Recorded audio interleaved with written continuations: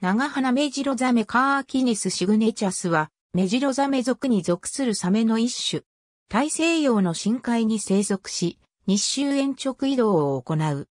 全長2メートルに達し、長いホット緑の目が特徴。英名ナイトシャークは夜に捕獲されることから名付けられた。夜行性で小魚やイカを食べる。体性。深海性のため人に危害は加えない。通常は混獲されるが、ブラジルでは本種を対象とした漁業が行われている。食用としても利用されるが、ブラジルでは肉に水銀が蓄積されていることが分かっている。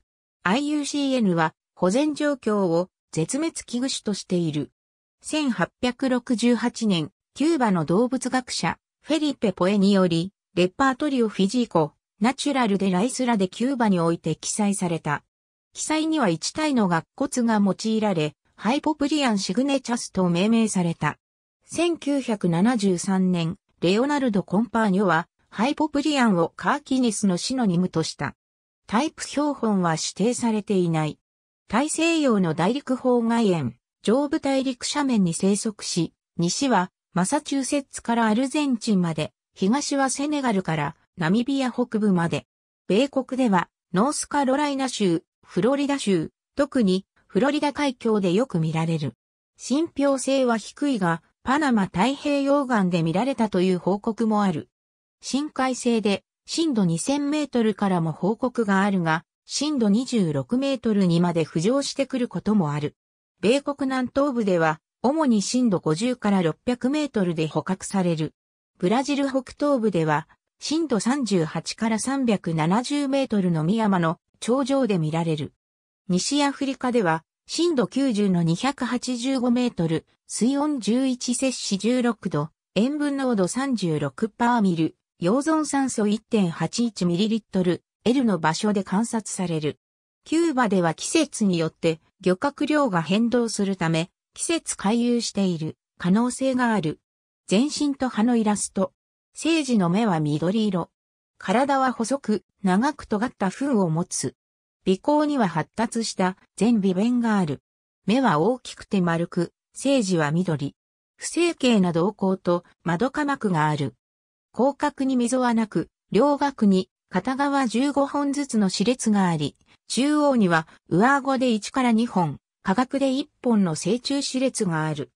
上顎歯は細い先頭を持ち、後ろの葉ほど後方に傾く。2から5個の巨子が規定公園に並ぶ。先頭前縁、公園の巨子の個数、大きさは年齢とともに増大する。下顎歯は直立し滑らかである。5体のエラ列は比較的短い。胸びれは全長の1、5になり、先細りで先端はマリー。第一背びれは比較的小さく三角形で尖り、胸びれ後端の髪型から始まる。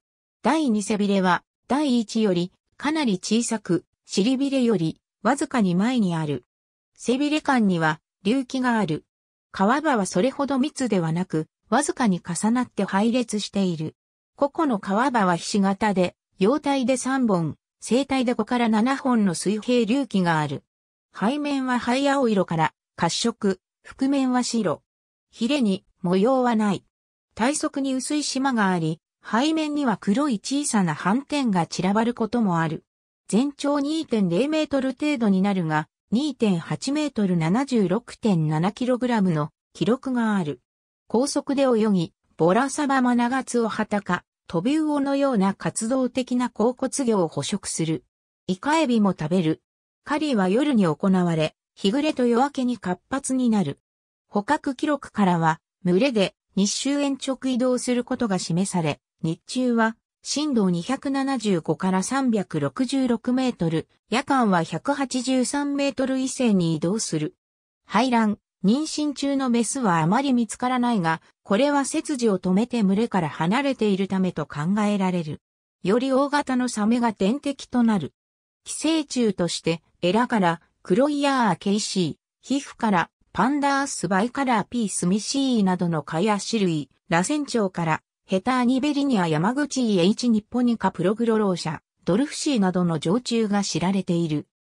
他には、アエガウェイビーに似た、頭脚類や長小判が見られる。幼体。捕食リスクを減らすため急速に成長する。他のメジロザメのように体勢であり、使い切った卵黄脳を胎盤に転換する。メスは右側の卵巣だけが機能するが、子宮は両側が機能し、胎児ごとの部屋に分かれている。子宮内の胎児は頭を前にして並んでいる。生活史に関する情報は、ブラジル北東から得られたものが主であり、他の地域ではあまり分かっていない。ブラジル北東では夏に交尾が行われる。妊娠期間は1年で、産指数は4から18。2月6月に様々な発生段階の胎児が確認されており、出産期は数ヶ月の幅があるかもしれない。生育場として、本種の南限である34度 S の大陸方園が提案されている。出生時は50から72センチメートルで、初年度に25センチメートル、全長のおよそ38%の成長を示す。